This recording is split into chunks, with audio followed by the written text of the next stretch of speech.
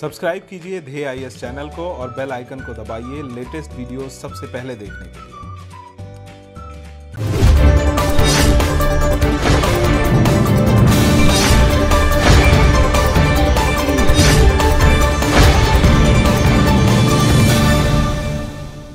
In a latest development, scientists at the CSIR's Institute of Genomics and Integrative Biology have come up with the COVID 19 test Feluda. It is a low cost coronavirus test which will not need expensive machines for the detection of the pathogen.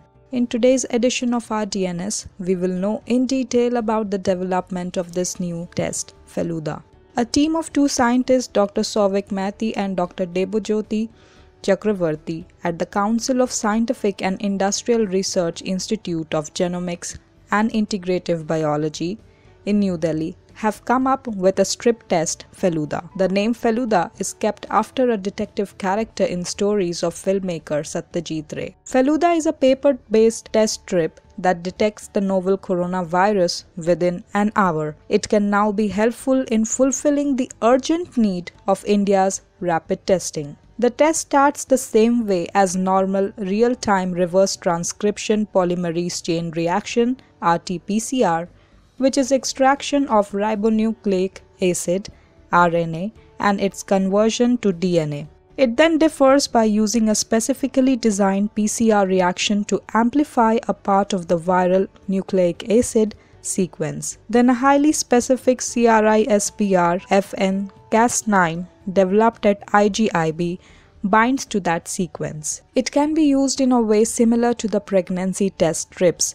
This strip will just change color and can be used in a simple pathological lab. The most important part is that it will be 100% accurate.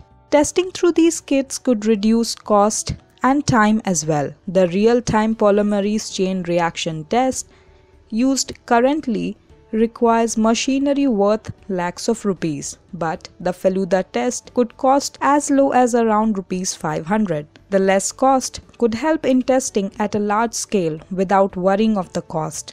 This kit is the first of its kind to be developed in India. India, alongside Stanford University and MIT in the US, is among those few specific nations that are working on to develop this. CRISPR technology recognizes specific genetic sequences and cuts them in short time. The CRISPR reaction is specific and can be done in 5 to 10 minutes.